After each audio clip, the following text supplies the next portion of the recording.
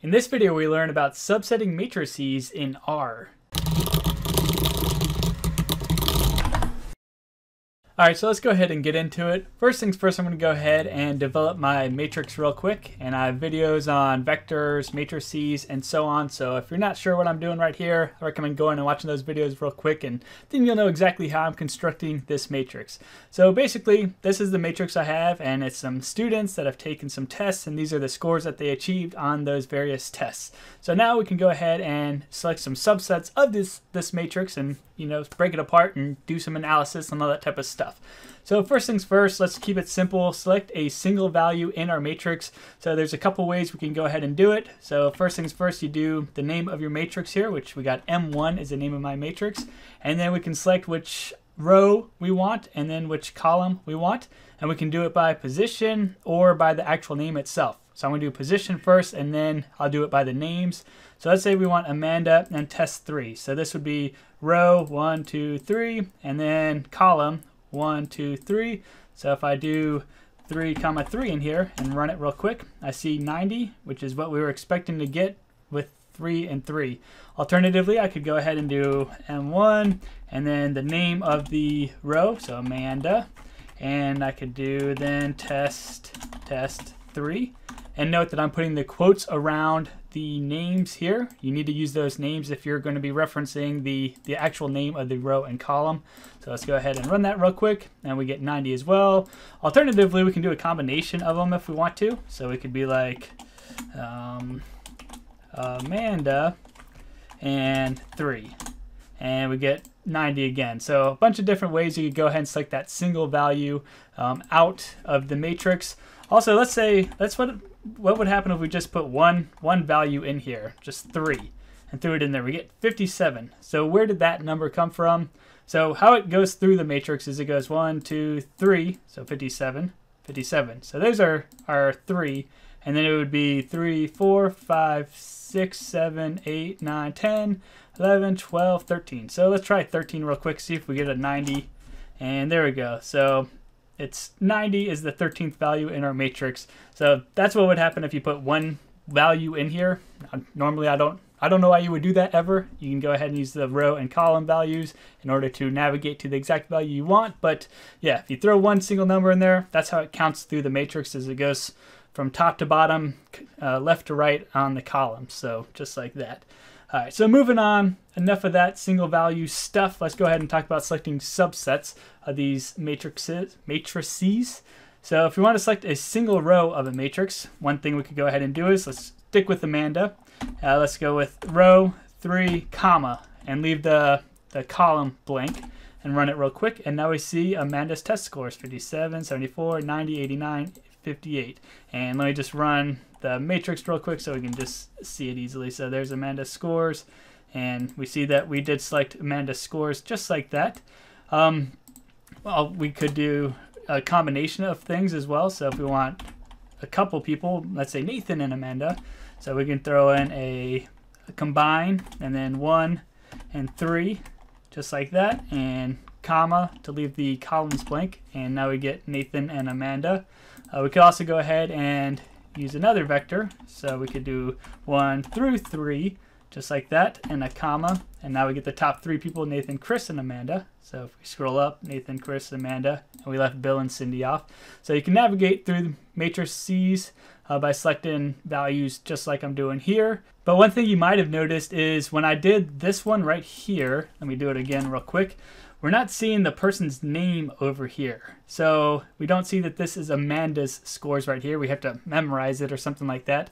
Um, so, so let's check something real quick. So is this actually a matrix? Do we think that this is a matrix? And highlight that whole thing and run it real quick and we get a false statement. So this by itself, when we're just selecting one row by itself, it comes back not as a matrix. It comes back as a vector vector, vector, and M1, and 3, and boom. So is vector true? So that's something to be mindful of if you think you're getting a matrix out of it. Um, you, you might not be if you're only selecting one row. And same is true if you select one column, as we'll show you in just a second here. But if you want it to be a matrix, you can throw in another comma here and then say drop is equal to false. Or you can just leave it as F, capital F, and run it real quick. And now we see that it is a true for a matrix. So the default here is drop is equal to true, which would drop the, the row name and that would make it a vector. However, if you wanted to say a matrix, you throw another comma in here and you drop equals F or false, and then you're not dropping that row name and you're keeping it as a matrix. So if we run this alone by itself real quick, we will see that we get Amanda's name in here and then we get the test scores. So we have our matrix just like we set up and we have the column names as well as the row names. So if you want to keep that and keep it a matrix, remember that drop feature. And we're going to do it a couple more times so you'll see, see it again with these columns. So selecting columns versus selecting rows is similar concept. It's just which side of the uh, comma you're on. So M1. And so now that we're selecting columns, we'll leave the front blank and we'll just start with a comma and we'll go with three. So right now we we are selecting test three, right? Because that's the third column in our matrix. So if I run this real quick, we see that I get the scores of people in column three. So Nathan got 100, Chris 99, Amanda 90, and so on. So if we come up here and Nathan 100, Chris 99, Amanda, Bill 53, Cindy 68, and that's what we see exactly right here. So we can go ahead and do different vectors as well, just like we did with the column. So if we want to do a couple of tests, so M1, and say we want tests 3 through 5, and we run that real quick, we see that we get a matrix here, and we get tests 3 through 5 of all 5 students. And let's say I just wanted tests 2 and 5 for some reason. I could go in here, M1, and throw in my bracket, comma, and combine, and what did I say, 2 and 5? We'll, we'll go with 2 and 5. So just like this, and so now I see all the test results for test 2 and test 5, just like that. Also, real quick, we can use names if we want to. So if we want to use particular uh, column names, we could go ahead and use those as well. Just like up here, when we're throwing in names, we can go ahead and do that. Same right here. So test 2 and test 5.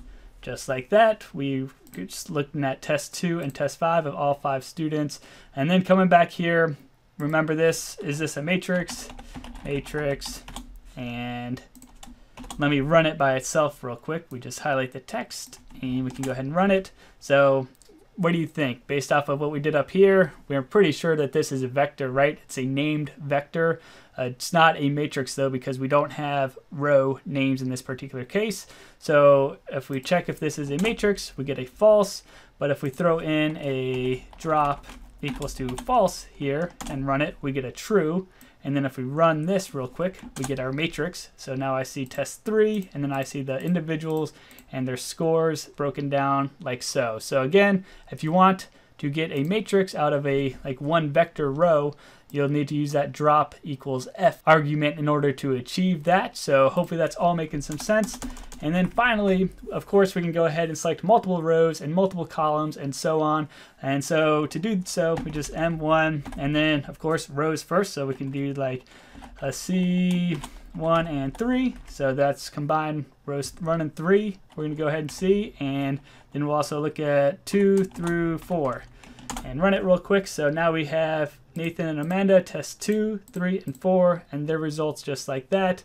Of course, we could go ahead and use names if we want to, and any other ways you want to create vectors to go ahead and sort your data. So all the same rules still apply when selecting multiples. It's just now you're throwing in values for the row as well as values for the column. So very, very simple stuff. And once you click around a little bit, like it becomes like second nature. You're like, okay, I want this and this and you run it real quick and when you do that you realize it shoots out a vector so you're like oh shoot I need to go ahead and do my drop equals to F in order to get a matrix so now I'm seeing that it's Nathan and he's got these scores on these tests and so on so again it becomes second nature when you start playing around with it and it's quite easy and intuitive to navigate these matrices and create subsets and all that type of stuff and and finally just just to put a little bow on this thing. You can, of course, save these subsets to, for analysis or something later on. So if you want to be like M2 is and store it as